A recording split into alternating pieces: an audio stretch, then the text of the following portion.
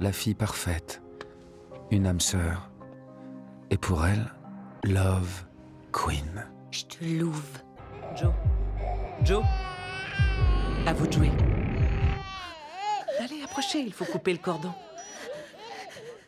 Mais c'est pas la première fois que je dois avancer à tâtons dans le noir. Je vais y arriver cette fois aussi. Salut toi. Félicitations au papa, c'est un garçon.